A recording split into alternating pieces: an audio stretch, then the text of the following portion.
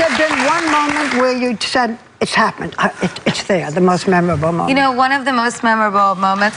Joyce. and she plays the piano Would you like those one? notes, Fascinated by your, your costume. Uh, no, I uh, recently I was actually uh, in Mexico City and in Guadalajara, and we played shows for 60,000 people each night. Wow.